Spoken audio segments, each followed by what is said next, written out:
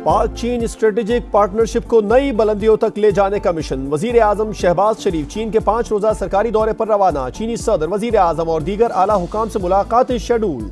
सी pack की upgradation, सरमाकारी तो तजारत और दीगर शोबों में ताउन के फरोग पर बात होगी।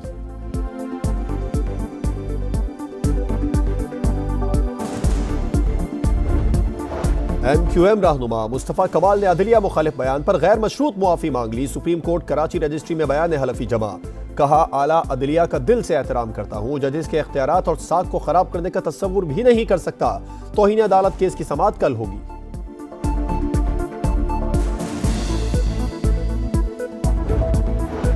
इस्लामाबाद हाई कोर्ट ने पीटीआई का मरकजी दफ्तर, फौरी डी सील करने का हुक्म दे दिया।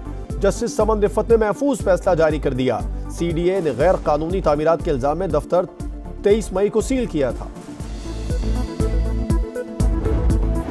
कराची में लुटेरों ने डकेती मजामत पर एक और नौजवान की जान ले ली। कोरंगी नासिर जम के करीब 20 साल अब्दुल बासित जाँ बहक। मकतूल कोयटा के रिहायशी और पुराने जूते का ठेला लगाता था।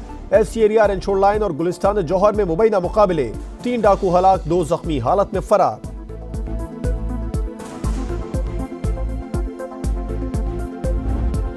पंजाब के कई शहरों में आंधी और बारिश।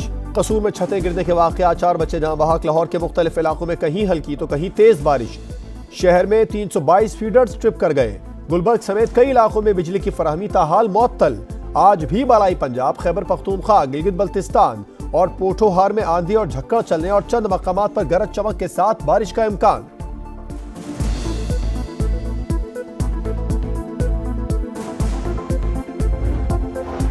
भारत के लोकसभा इलेक्शन में बीजेपी का दो तिहाई अक्सरियत का ख्वाब चकनाचूर। इब्तदाई नतज के मुताबिक बीजेपी और इतिहादियों को दो सौ छियानवे सीटें मिली।